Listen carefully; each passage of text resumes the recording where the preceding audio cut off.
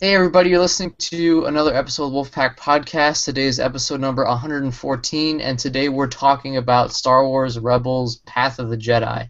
Um, this is the eighth episode in season one of Star Wars Rebels, um, and it's going to officially air on Monday, and it's already come out on Disney XD app, so that's why we're able to talk about it early. Um, but yeah, we're going to be talking about this episode. I'm Corey, to my left or right, however it shows on the screen. We got Chris. Hey, everybody out there. Dan. Hello there. Yeah, I still can't believe that they're showing these episodes earlier on the on the app because that's seems kind of weird, but it's good for our reviewing purposes. and hey, hey everyone. Um, yeah, I agree. It's it's good to be able to grind through one episode, you know, five, six, seven, eight times before it even airs to yeah. kind of let it sink in. But no, it's it's cool. I'm I'm glad it Disney XD continues to do that. They do that with a lot of their shows. So yeah, I think the one thing about them being to do that is it. Chris, me and Chris were talking about this uh, a few months ago, and Chris had a good point of, of the whole fact that um, Disney is probably testing out the online portions of this more because that's kind of where TV is heading. I mean, Netflix, you know, apps. So I could see why they'd probably get a higher viewing rate sometimes in the app than on TV because you can virtually watch it whenever you want, wherever you want, with not a lot of commercials. So, um, I like the way they're doing it. I know some people aren't able to view the app because of their their TV providers, but um, yeah, it depends on depends on where you live too. If it's if you're not in the U.S., you can't do it, and right. but there's ways around that apparently. Not that I condone such things, but Mm. I think it's really just up to um, the way that they want to put it out. And today, I- actually, I want to bring something up before we start reviewing this episode about Disney XD. Um, they were, uh, I guess, premiering a movie. Maybe it wasn't a premiere, but it was a, it was a movie that I don't, I don't think they've shown for a while, and they showed Harry Potter and the Chamber of Secrets, which kind of caught me off guard because that's a Warner Brothers owned product, and co- you know, the whole franchise is very Warner Brothers, and yeah, I watched Um, it today actually. yeah, yeah, me too. Um, which kind of also surprised me because Disney XD, um, obviously Rebels, we've seen some not kid friendly stuff on there, and I think Disney XD is branching out a bit more. Where Harry, that specific Harry Potter film is kind of dark, a little bit scary for little kids probably. So, um, def- definitely makes sense why Rebels is on there and not Disney Channel. They can do a whole lot more with that than they could on Disney Channel, but also, they also uh, showed the Ninja Turtles '90s movie a few weeks ago, and that's owned by Nickelodeon. So there must be some type of contract or some. But I, I did. Love Think- that movie. Which, by the way, yep. um, I, I did think about today while I was watching Harry Potter that Clone Wars was owned by WB, and that partially the reason that was canceled was because of WB. So I have heard a lot of rumors that Disney is in talks to buy WB. So I don't know if that's Holy crud! Yeah, if What? they do, I mean, they're gonna own DC. They're gonna own Own everybody. every. Yeah, might as well just go for everything. Um.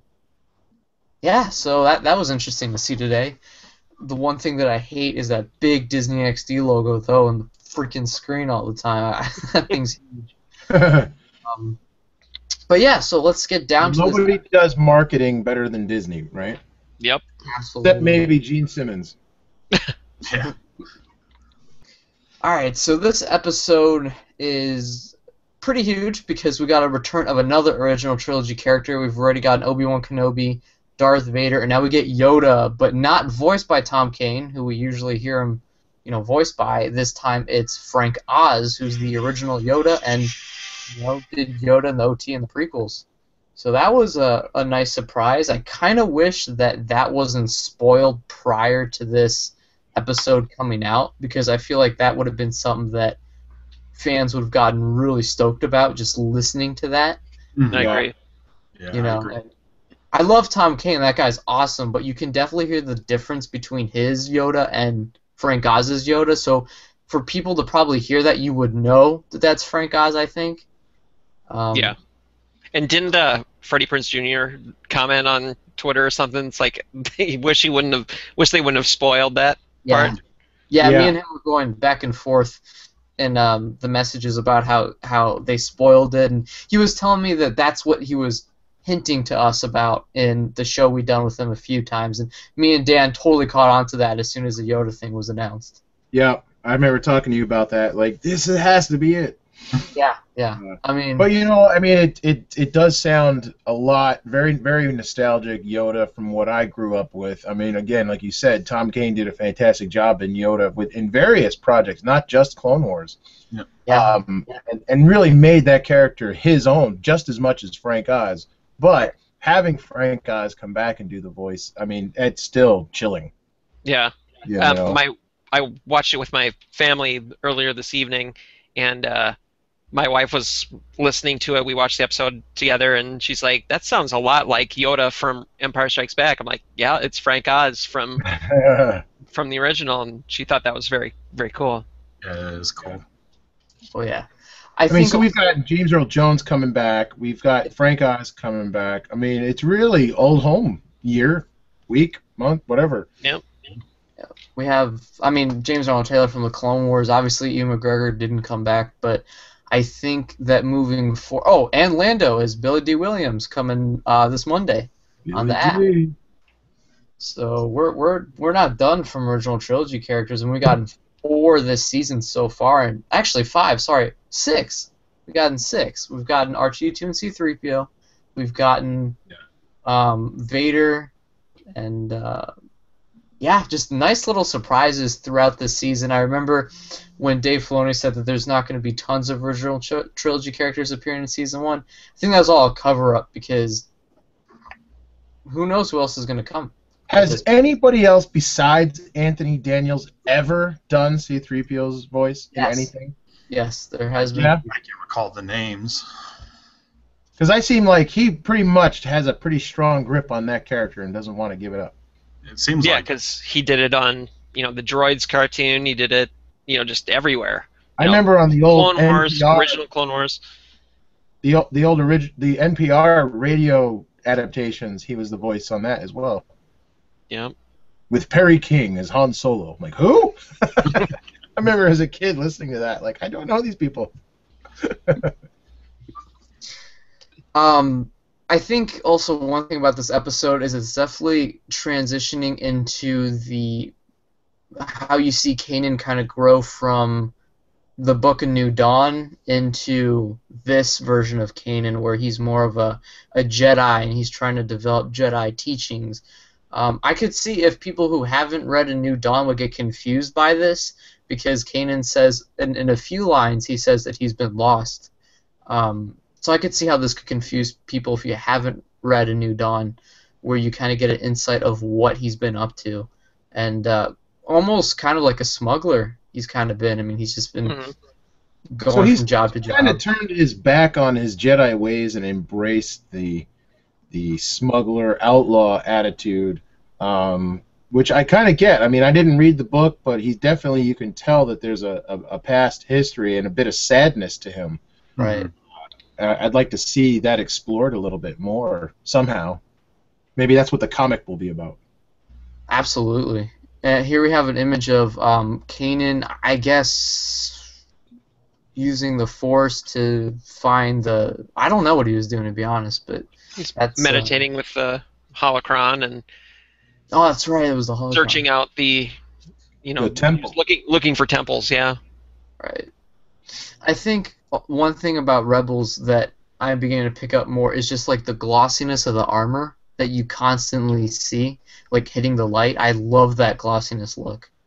I was thinking that too earlier. Is that I think this is the best looking episode so far. Like Yep. some of the cool, you know, the panorama, wide, you know, wide shots of just the landscapes of Lothal, and Mhm. it just looked really, really cool. You know, the point of view, you know, different uh, shots of the uh, the Phantom. You know, overhead shots flying above the ground, and just the the scenery was one of the better looking episodes I thought. And um, the episode was more serious than any of the others as well. There wasn't s so much kidding around. Yep. You know, it was, it was I think the most adult episode of all of them. hmm Hmm. It was kind of Ezra's growing up episode in a way where he's starting Right. to realize what he is, what he is supposed to become, and what Kanan is trying to kind of help him to become.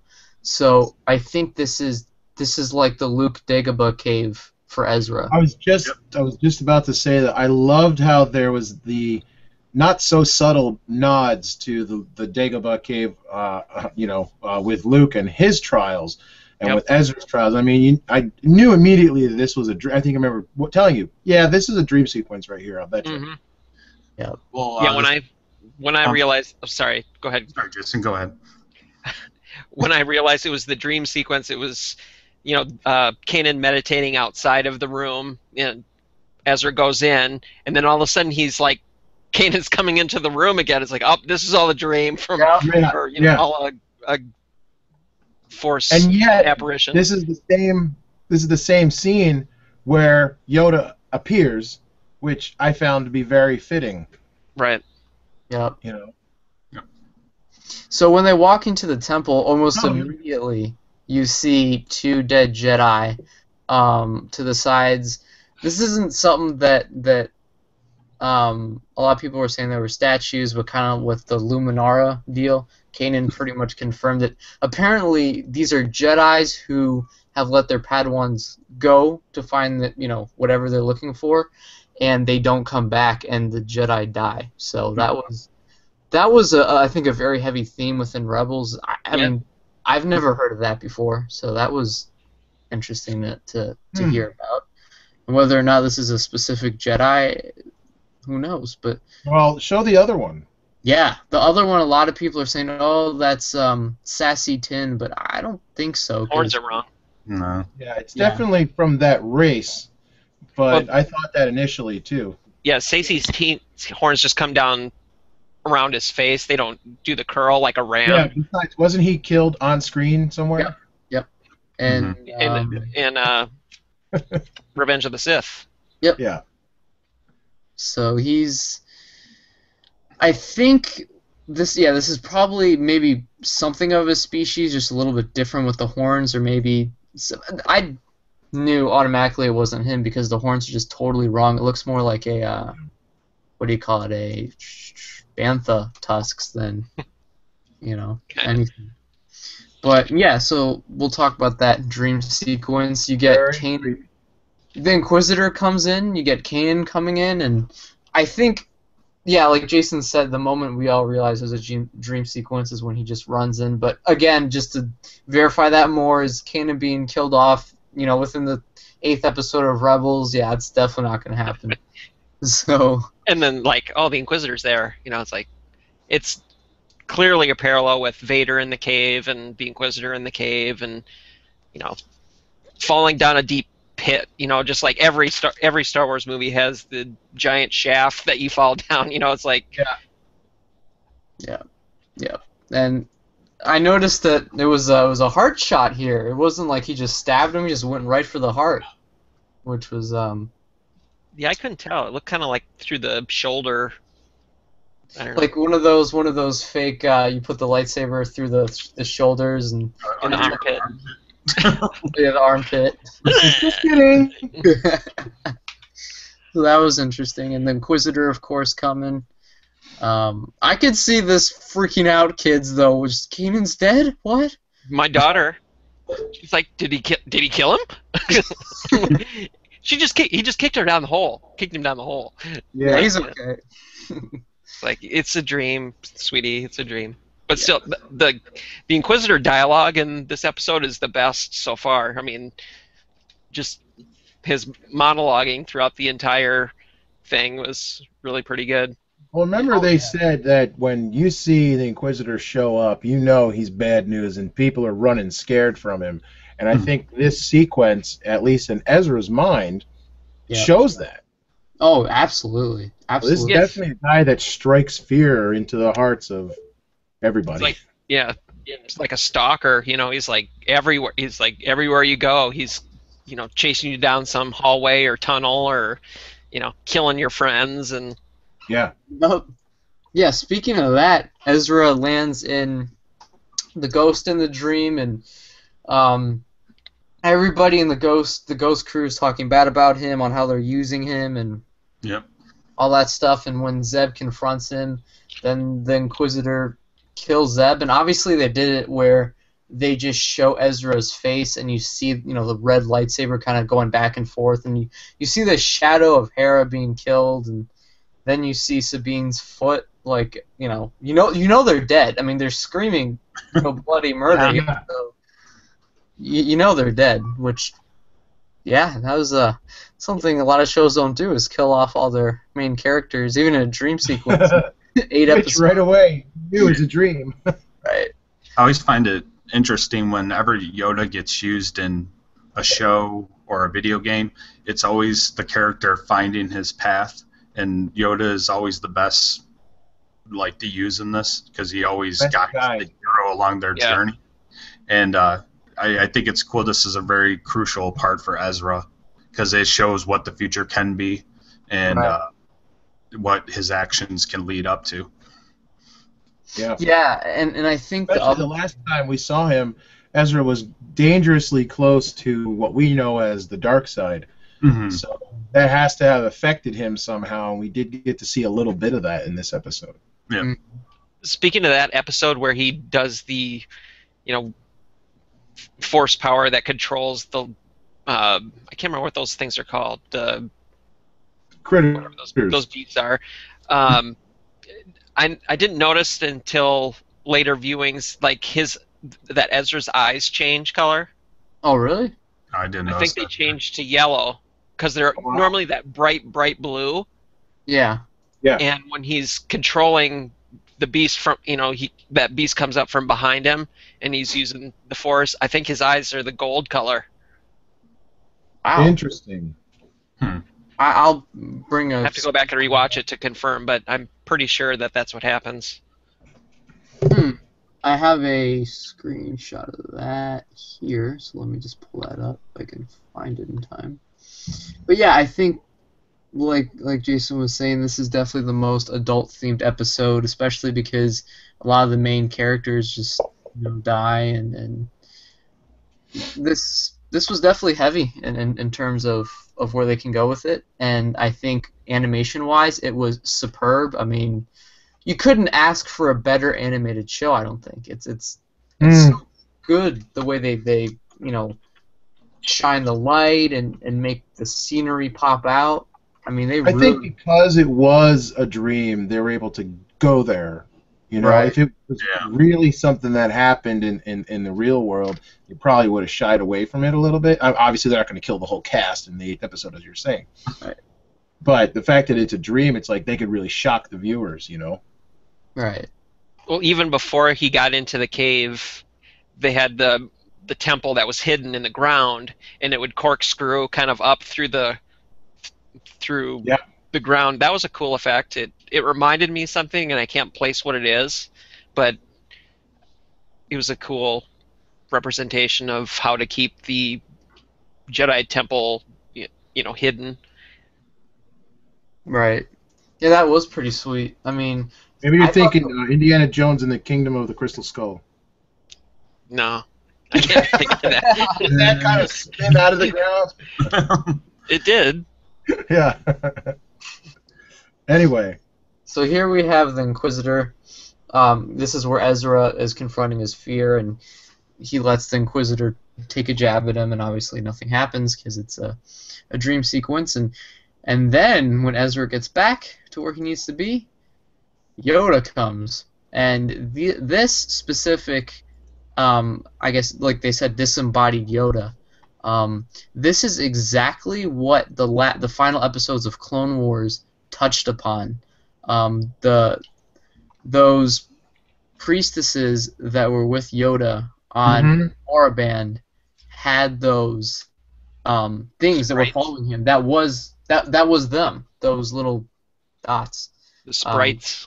Yeah, sprites. There you go. And um, I guess Yoda has found out how to master that, and he can now do it. So, um, that's that was a cool nod to tying in everything together in one episode. Um, and obviously Yoda is talking with Ezra, which was awesome. And uh, then Kanan gets a gets a surprise visit with Yoda, and I thought he'd be more like "You're alive" type thing than than how is this happening. That was that was cool though. The Kanan was shocked by it. Um, Hmm. I guess that is kind of like you're alive then. So that was uh, that was definitely awesome to see, and I think again hearing Frank Oz was just so awesome, and of course he was doing his Empire Strikes Back Yoda, which was uh, very cool. Mm-hmm. So, what did you guys think about the transition from, I guess, the the the Clone Wars representation of Yoda? I know we just talked about this, but to like the Frank Oz version. Um, I know Jason just touched upon it, but when you guys sat down and listened to it, uh, Dan and Chris, did you guys hear anything different? Well, that's No. actually that's that's a stupid question. No, well, it was definitely different from the Tom Kane version, but you know, it's this is closer to the original trilogy, so I think that's fitting. Right. Yeah, absolutely. Yeah, like everything that he said, and when you heard him say it, it felt, you know, just like it. It doesn't seem to be out of character. It's you know, it it sounded like Yoda. It felt like it's something Yoda would say. Mm-hmm. It it wasn't off-putting in any way, or Yeah, yeah. Right. I really enjoyed it. It just like with when James Earl Jones came back to do the Darth Vader voice for the Spark of Rebellion premiere. Um, that sounded great too, just because it was the original voice and you could visualize Vader s- speaking in that way. Right. Yeah, I think the thing what what Disney is definitely trying to do is just get all the original voice actors that they can, you know, which I think is awesome. Everybody wants to line up for the Disney money, so yes, mm-hmm. I'll be happy to come back and redo the voice of this character. Nobody's gonna say no to that. No, absolutely not. And I think that's that's the difference between Clone Wars and Rebels, where Disney has more um, excuse me, Resource. pun, They have the high ground in terms of you know ways they can get original trilogy actors. But, But all obviously- right, I mean, we're making light of it, but I mean that is the best way to use those resources is to get back the original cast. I mean, if you're gonna spend four billion dollars buying a franchise, you want your A players on it. Absolutely. No offense to anybody that was in the past. No offense to the Clone Wars cast. I'm just saying, in this new era of Star Wars, you're gonna want to go after the best of the best. Right. Yeah, and, and if you're trying to tie eras together, Yeah. you want to make sure that you know you have some of those crossover characters and voices that are familiar to help you know transition that Absolutely. medias. Right. So it's definitely going to be exciting to see what territory season two goes into as far as original trilogy cast members and even prequel trilogy and Clone Wars. But here we have. So- have where uh-huh. Is this considered season two, or is this still part of season one? this is season one. This is the this is Okay. the I guess the next half of season one. Yeah, Yeah. just It's a- really just a mini series season to be honest. Right, because it's only what 13 episodes. Yes. Yep, 13. And if you want to talk in production standpoint, that would be 16 if you include Spark of Rebellion and the four shorts. Um, and we don't know yet how many episodes are going to be in season two, right? no, no, Hmm. not at the moment. But I would imagine season two is going to be a little more, more episodes. I think this was their trial Probably. run um, with it, and I think the reason they okayed season two is probably the products were selling quite well. Oh, go ahead, Chris. Chris. I'm sorry, what was that? Oh, sorry. I thought you were saying Yep. something. Oh no, I didn't say anything. Okay. So in this specific scene here, um, we have Ezra guided by Yoda into this temple-like place, um, where Ezra's getting a little mad, and he's saying that the reason he wants to be a Jedi is so he he can you know get revenge against the Empire, and Yoda saying was that you know did Kanan teach you that, and Um, he's saying no, that's kind of his view, and then he starts to realize what you know a Jedi truly means and and what he needs to do to become one. So Right, because we all know Jedi don't seek revenge. right. Well, yeah. They were going to. yeah. Um, I liked the scene with him in there. It's se- the only part I wasn't all that. I, I don't want to say disappointed or anything with, but he made that transition s- so quickly. You know, he went from saying "I want revenge for you know what the, my you know parents went through." It was very Anakin-like. yeah. and it's like oh no it's because my friends and what they do for people and you know it that that transition between those two viewpoints seemed to happen really quickly and just only you know a matter of a you know a minute or two and i don't know if that's just him being young and not really knowing. Or if that's you know just a way to speed up the storyline Right. Right, but he's also, I mean, considering how he grew up, he he's learned to adapt to whatever situation is. Mhm. And here you've got Yoda, who he may or may not have heard about before. I think I think in a previous episode, Kanan mentioned Yoda. Yep. Um, so he obviously knows who Yoda is, and here's this guy saying, "No, that's the wrong way to go." He's like, "Oh, okay. Well, let me rethink this a bit." So he's quick on his feet. But uh, yeah, I, I like the fact that he, you know, was able to kind of Yoda was able to come back and guide the Padawan. yeah Did we lose Corey? looks like it oh Yeah. coming back Yep, he'll be- Okay. yep, there he is. Sorry he was able to guide him through questions. You know, it's like Yeah. he never really tried to, you know, insert a special, you know, a particular viewpoint. He just kept prompting Ezra with Yeah. questions. He know, asks the questions by answer. He answers the questions by asking other questions. right. Whereas Kanan has always been kind of like, I'm not sure that I'm the one to give you the answers. Yeah. And Yoda's coming out and saying, well, the answers are within you. Hmm Nobody else is going to tell you the answers. You've got to figure them out on your own. In his typical Yoda way. Right. But uh, I think that's kind of an interesting, you know, if, if we see more of Yoda, which I hope we do, or hear more of Yoda, which I hope we do, I think that'll be an interesting uh, counterbalance between Kanan and his, you know, his own journey, and then Yoda being the master, sort of guiding them both along this Right. path. So yeah, Yoda's kind of teaching them both from beyond. You know, even Mhm. though you know, he's not dead at this point, but he's still Right. removed from the deal. So even though he's not there, he's still teaching from afar. He's just chilling out on Dagobah with Qui Gon, and they're, you know, talking shop. Right. on Dagobah, on Dagobah's Jedi Temple, maybe. Yeah. Oh, apparently all planets have temples. So here Ezra gets his lightsaber crystal, Yoda helps him get it. And I know a lot of people have been touching upon this and they they said that Ezra doesn't have fingernails. That's because Ezra's wearing a glove.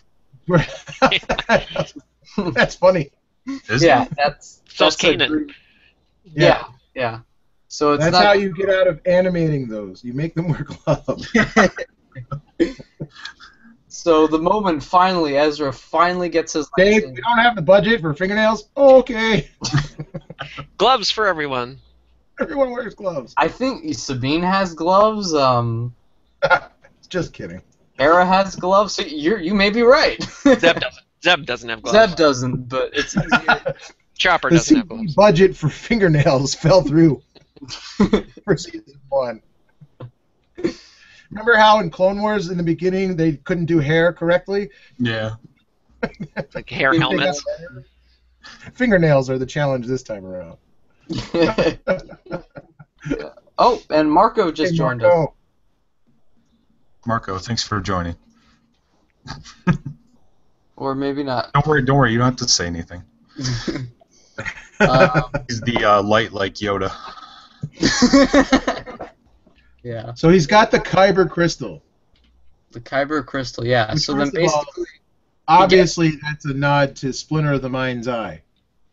And previous Clone Wars unaired episodes. Oh, really? Well, Oh, yes. Isn't that, isn't that what in the the one with Obi Wan and Anakin where they're trying Yeah, to track yeah. down that big green crystal? Right, right, That's the Kyber crystal, right. which would power the Death Star. But yeah, I thought you meant that receiving a lightsaber. Oh no, Yeah. So, Well, I mean, in the- the ones where the little ones go to Ilum, Yeah. or you know, in the Yep. the ice like cave. I think Sorry. those were Kyber crystals, weren't they? Yep. Yep. And those so, I were mean, that's one of the expanded universe slash legends um, things that carried over. Right. Oh, wait a minute. Kanan is wearing a glove, but his fingers are exposed. So now I gotta know if there's Now, fingernails Does on he have fingernails or not? That's the truth question. If anybody who's watching this right now, let us know in the comment section below if Kanan has fingernails. Is Kanan canon? Is Canon is canon. it's an inside joke. My kids call Kanan Ken. Works. Can. Can. Mm, Close enough. Yeah. You know? I'm looking at the Star Wars uh, Wikipedia, and I like how it says it took them several weeks to build that lightsaber. Yeah, that's something that Oh. Zeb Zeb had said. He said, "Is this kid gonna take? This kid's been working on this for several weeks. When is he gonna be done?" And then, uh, as Builds we're, a stapler. yep, the stapler comes out, and there it is. But he makes this out of all spare parts, which I thought was pretty funny. that was cool. a part of chopper, a part of some uh, supplies. That was pretty cool. It's got the D ring on there. Yeah. It looks a lot like Luke's lightsaber. You know the Luke's Jedi lightsaber, actually. Yeah, you the know, handle Oh, part, the the hilt. handle part. So that's interesting. Then you got the But blaster. does it look like the toy? Yeah. Yeah. So So that's good. The the actual lightsaber I've heard is hitting Target stores and Toys R Us's. So Yeah, um, I've, I've seen those a few times there. Oh, good timing. I gotta say, these lightsabers have uh, been uh, quite controversial. You know, the crossed one, and now you got one that has a uh, a little block in front of your hands. Now, uh, it- And it's kind Kanan of comes apart without f- falling. apart. right. I gotta say, I like how the lightsabers look in Rebels. I like how they look very uh, sharp and like Very thin. yeah, very thin. I, I like how that looks. When I first saw this lightsaber with the, you know, kind of the hand guard, it reminded me of the original Kenner uh, 12-inch doll lightsabers because you had to put your to because the Luke. figures didn't hold their lightsabers. They didn't have like the kung fu grip that the GI Joe figures had. They had kind of more of an open, you know, lobster claw type hand, and you had to Yeah. slip the lightsaber handle guard over the fingers in order for the figure to hold it. And that's exactly what this reminded me of. That's probably what they're going for, I would imagine. With you know a little bit of added uh, gadgets and whatnot. I mean, because Imperial Troop Transport, Kenner design, so they're definitely aiming for I think a lot of that in the show. I remember when the first images of Rebels came out, talking about that lightsaber quite a bit, and the obvious nod to the uh, Luke Skywalker, Ben Kenobi lightsabers. Yeah. Right. And also, when he ignited the lightsaber, it was a different sound. than Very cool sound. Yeah, it was like a more rustier sound, like a very Deeper. a deeper, yeah, deeper lightsaber hum than what we've heard before. Did you notice Kanan was uh, hold pointed right in uh, Ezra's face? Basically, Yeah. I was like, oh, that's dangerous. Actually, Chris, you were just speaking about new lightsabers. Even the Inquisitor has a uh, uh, a spinning lightsaber. That's new. yeah, well, the spending's nothing new, but like, I don't know, like all these weird like handles and all this stuff, and um, you know, the blaster firing hasn't been revealed yet, I guess, in the series, but we all know that Ezra's lightsaber is a dual purpose weapon. Yeah. Right. So yeah, I mean, as a whole, having Frank Oz return, having the lightsaber finally appear after various episodes and, and products of toys coming out from it, we finally get to see Ezra with it. It's going to be cool to see how he uses it in battle, and um, yeah, I give this lightsaber, this lightsaber, I give this episode um, a rating out of 10 stars, I give it a 9. mm, No, I give it a 10. I give it a 10. I mean, at first, um, I gave it like an 8 just because. I don't know why, but then I rewatched it and I gave it a 10 because it felt. It was cooler, but I'm going to go through everybody and everybody can say what they thought of the episode. You know, there if it's 10 stars, so 1 to 10. Chris, what would you rate it? I, I would rate it close to ten. I'd probably say eight or nine. Um, the banter between the two kind of always just kind of gets to me after a while. Um, I did like the dark overtones of the Inquisitor. Um, I think he was just done very well as being a threat to Ezra and seeing you know what can happen in the future. Uh, I think it was a pretty solid episode though overall. Yeah, I think for me, the only reason I put it at 10 is because of Yoda. If Yoda wasn't in there, I'd probably give it like an 8.5. Um, but Yoda is kind of the, the core of this episode. what about you, Marco? I'll give it a nine. Fair rating. Uh, I, I, Oh, sorry. Go ahead. I don't know. it's cool. I really liked. Uh, they finally revealed his lightsaber, and I feel like finally we can have good action scenes now with Ezra. Yeah. He doesn't have to use his uh, slingshot anymore. Well, I probably still will. yeah. What about you, Dan? They have to make a toy of that lightsaber still some someday. You know, they could make a, a, a gauntlet lightsaber shooting a Nerf projectile somehow. I, I It don't does. That's what the new one does. Yep, know. Does it? that's exactly what it does. It's got like I think it actually has Nerf darts. Yeah. Plastic darts. so the, you think they're going to make that? No, they It's have. out now. It's out. Oh, see, look at that. I should make toys. um, I I've only seen the episode the one time, so I'm I'm gonna stick with uh, probably an eight, just because I like to watch it a few more times. And some stuff that we talked about tonight, I didn't catch the first time. Um, but I obviously loved having Yoda's appearance, and as we talked about, the journey of Ezra echoing uh, Luke's journey, and uh, frankly, Starkiller's journey in some way. If you go back to the video games and uh, I, I like the relationship between Kanan and Ezra that continues to develop. The only thing I, I wish I would have seen more of the other members of the cast, but this really wasn't their spotlight, so that's actually kind of fine. Right. And Jason? Um, for me, I think this is a, a 10 worthy episode from animation, story, uh, dialogue, action, suspense. It was tough to tough to rate this any lower than any of the previous episodes that have come out. So it's a high one for me. Yeah, so that's our review of this episode. We're going to do a quick 10, mig, 10 15 minute segment kind of talking about what's go- coming from Rebels, what's going to happen with Rebels, products out from Rebels, and little bit about Celebration Anaheim. If you guys are in need of new Rebels items, you can pick up all the new Lego Star Wars sets. They have some new um, sets Cool. out. I picked this up at Toys R Us the other day. It comes with Sabine, Ezra, and a stormtrooper, and this is, I think, the first official um, uh, item, I guess, to have a Sabine painted figure. Because I don't. And it count- has Ezra's lightsaber. I saw that. Right. So here we have the Sabine minifigure. He's he's already opened Awesome. it. I love. Yep. So no helmet, but she does look pretty cool. Does she have Uh, more than one face?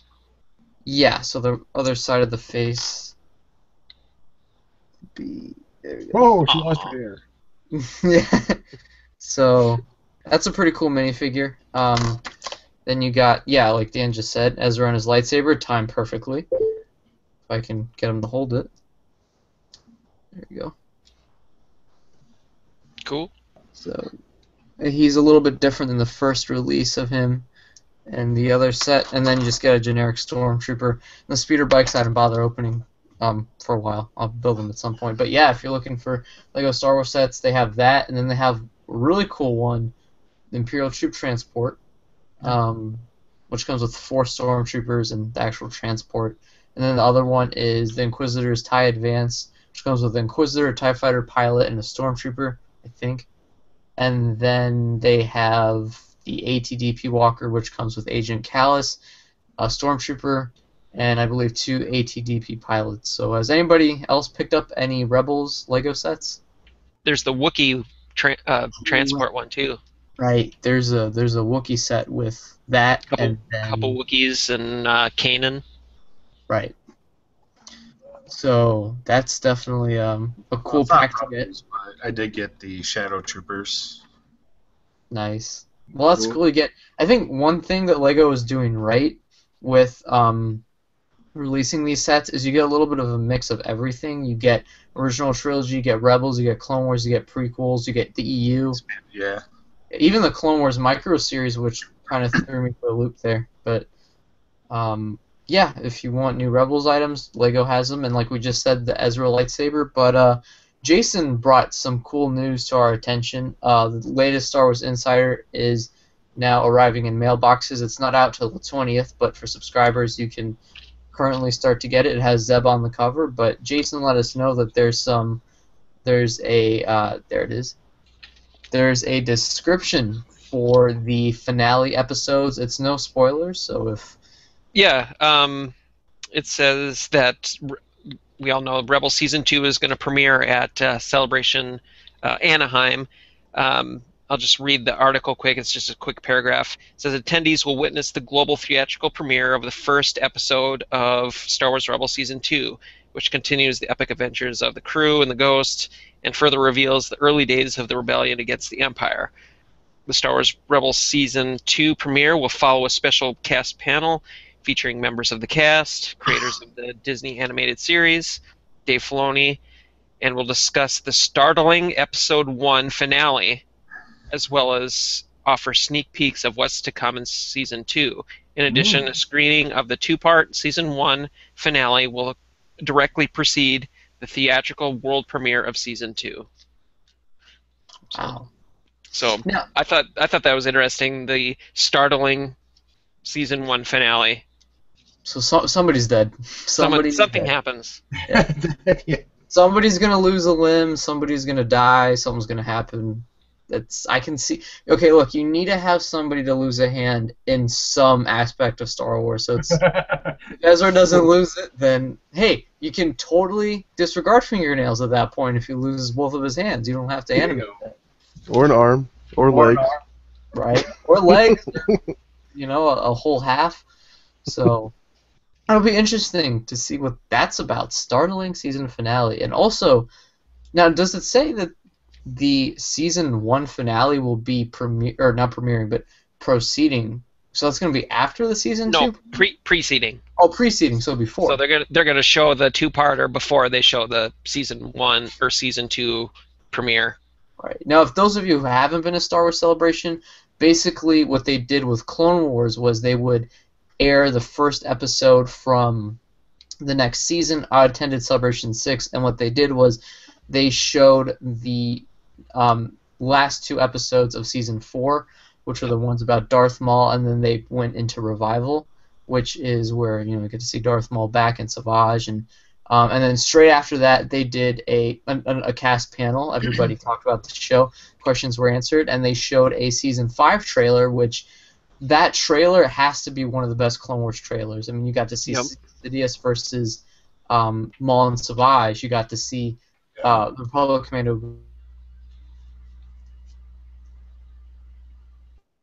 That's what's going to be an event not to miss. So if you're going to celebration, you must attend this. It's it's spectacular, really. Plus, I mean, you get cat. They're probably going to do a red carpet like they did with season six, and that's your opportunity to meet some of the cast. And yeah, so um, celebration is going to be huge, especially for Rebels and Force Awakens. And um, Jason also learned that uh, Star Wars episodes one through three in 3D will be um, episodes one and two will be shown, and episode three will be premiering at Celebration Anaheim, which is exciting because obviously episodes one and two have already been shown. Episode three has not yet been shown, so this is definitely going to be exciting for attendees to be able to see it. I don't know if it's going to be released to public or not. I that's pretty doubtful, but if it is, that'd be awesome too.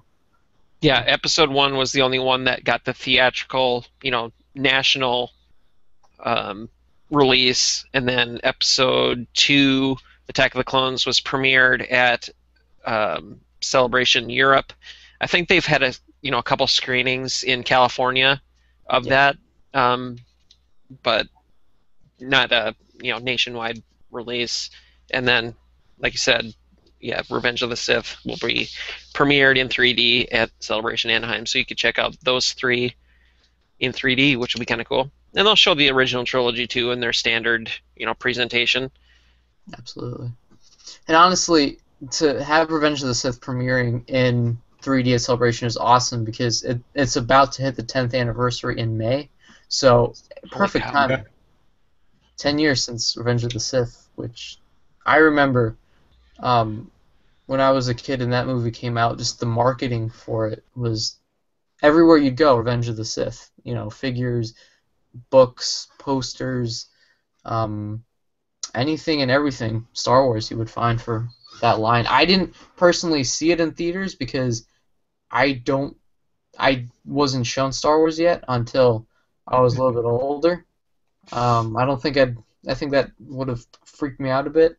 So yeah, I wasn't able to see it in 2005, but um, I'm excited to see it. I mean, the prior prior to that, prior to episode three hitting the screens, and I I just spent uh, part of the New Year vacation revisiting Clone Wars, the original micro series, Mm, which had its finale in 2005. So this is the 10th anniversary of that as well. Which blew my mind when I came to realize that. I'm like, oh my god, wow, this is like a banner year, not only for the new Star Wars, but also the anniversaries of several of the old Star Wars properties, which is kind of fun. Absolutely. So, I- think the most exciting thing about Celebration Anaheim is just the suspense of not knowing what it's going to be like this time because obviously, you know, there's not um, the regular just a TV show coming out. I mean, we got, like you said, we got anniversaries, we got episode 7, we got Rebels, we got products, we got new licensees, we have Marvel coming in with their Star Wars comics. So, it's definitely going to be exciting. Two weeks, right? Yeah. think that comes out in two weeks. March 13th or 14th, and I've heard a lot of people say that they've been able to get that issue early. So, um, I guess hit your comic book shops and Barnes and Noble. I know they have comics because those things are leaking out. So, um, that's cool. I've heard a lot of good things about it, and um, that's like you know the official canon. Um, yeah, I've said this multiple times on the show. If you're watching and you're debating whether or not to go to Celebration, you must attend this year because the time is ticking. We got three months till Celebration. It's going to be huge. I would go. I would personally, if you've never been to a Celebration, this is the time to go. Sell, sell some of your collection if you have to. If you have extras of stuff, put those on eBay. I've had to had to uh, get rid of a lot of stuff to, to save up a little more. For it. Apparently, not all of it. Yeah, Yeah, what about all that stuff behind you? Yeah, you don't need that. yeah, open. no one wants to buy open stuff.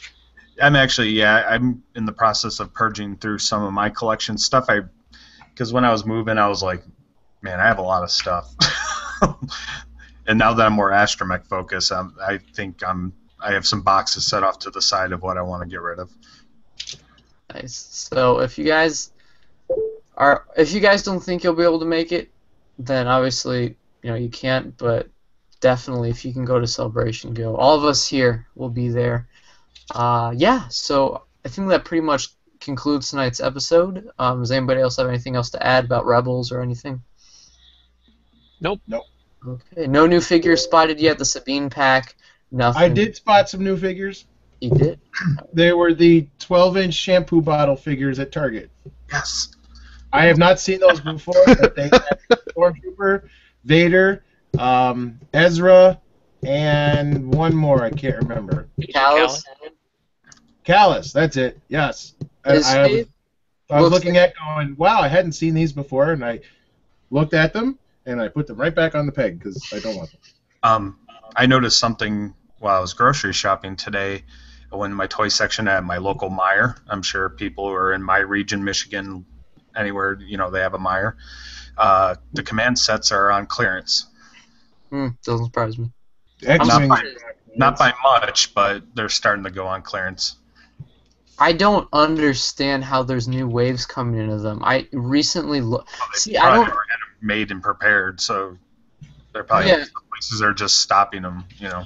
When I want- went to Target the other day, I totally forgot that there was even a new wave coming, and I noticed that they had like a Grievous pack, a Captain Rex pack. Uh, they were good when they came out since we had And a no Yoda Rebels. pack. Yeah, and the Yoda pack. I personally bought all the Rebel sets because Rebels figures hadn't come out yet in August, and um, that's why I bought mine. But I kind of regret spending thirty-five plus dollars on those because they're just not that great. But how many figures did you get? Too many. I can't get rid of them. So, a good probably. you guys see? Oh wait, we're still live. Never mind. Okay. Um, but yeah, thank you everybody for listening. Uh, Sorry. You can follow us at the Wolfpack Podcast on YouTube. You can follow us on iTunes. Our website, yeah, and our website. Um, on Twitter, on Facebook. Um, please subscribe to us here on YouTube. That would mean a lot to us, and your support is greatly appreciated. Star Wars Celebration Anaheim coverage coming from us in three months. And uh, you can also find me and Marco and Dan and Nabil and Steve and whoever in the Wolfpack wants to come on the Marikuru podcast, our Arrow podcast. So check that out. Um, and where can we find you, Chris? Um, on wolfpackpodcast.com and my astromech collecting page, The Bad Motivator, on Facebook and YouTube. And Marco? Find me at uh, thewolfpackpodcast.com, uh, Crimson Darth Maul on YouTube and uh, Facebook. Dan? Oh, I, I pretty much show up everywhere. You know that. I make guest appearances every place. Lately, I've been posting some new uh, action figure galleries on Jedi News and Sand Troopers, and obviously, I'm just hanging out on Facebook all the time because I'm a huge nerd with nothing to do with my life. And Jason. Uh, you find me on yakface.com and the Realm Recap, our weekly uh, collecting overview podcast. And our new episode will go live tomorrow sometime. Awesome. We will share that on our page. So thank you all for listening to another episode of Wolfpack Podcast. Thank you all for your comments, and uh, we will be back on Tuesday night at 10:05 p.m. I know weird time uh, for our Rebels Roundtable on um, season one, episode nine, Idiots Array, which will be the Lando Calrissian episode. So stay tuned for that. And as always, may the Force be with you. May the force be